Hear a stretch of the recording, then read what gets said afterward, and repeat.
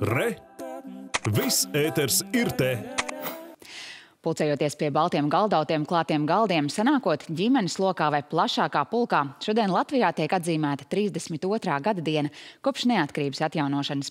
1990. gada 4. maijā augstākā padoma pieņēma deklarāciju par Latvijas republikas neatkarības atjaunošanu un sākās patiesas un pilnīgs mūsu valsts neatkarības ceļš.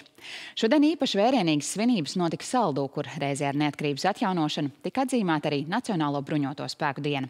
No Saldu ziņo Ģitis Virbulis.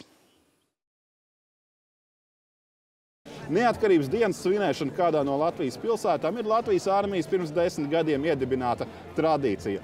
Pērn Daugavpilīgam pandēmijas dēļ parāde nevarēja notikties, bet šodien saldo viss notiek pēc pilnas programmas. Gan militārā parāda, turklāt arī laiks ir pietiekami labs un nekas netraucē aviācijas pārlidojumus. Visgaidītākā parāds daļa, protams, ir aviācijas pārlidojumi. Turklāt tie šogad bija vērienīgāki nekā ierasti. Un, protams, dažāda veida militārā tehnika, ko varēja nevien apskatīt, bet arī aptaustīt un izpētīt. Savas prasmes rādīja gan armijas desantnieki, gan robežsardzes kinologi ar suņiem. Jā, mēs bijām atnākuši vakar skatīties ģenerālu mēģinājumu un, un, un priecājamies par visu to, kā tas notika. Bet mums tas, tā tehnika, mums gribējās ļoti to tehniku redzēt. Un, un to mēs arī redzējām. Nu, es atceros, kā pirmās parādes, kas mums bija. Nu, bet šodien tas ir nepārspējami. Pastījāmies izpildīšanu, parādīja. Tad tehnika bērni pastījās. Nu tā, atpūtāmies šodien. Pozitīvi, pozitīvi tas jā. Nu, es pats zemesargs arī esmu. Vienkārši šoreiz nesanāca, šoreiz ar ģimeni kopā. Šoreiz nesanāca paiet parādē un es piedalījos ar daudzās.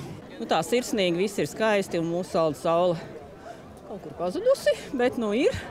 Un tiešām tā ir, kā, kā teica, kad saule saule silda.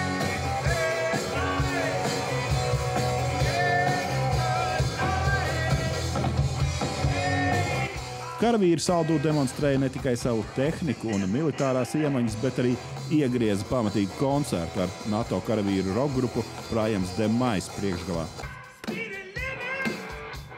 Himnas un marši tas ir svinīgums, bet īstā brīvība tas ir rokenrols! Girts Zvirbulis, Ivo Žepīckis, Latvijas televīzija no Saldus.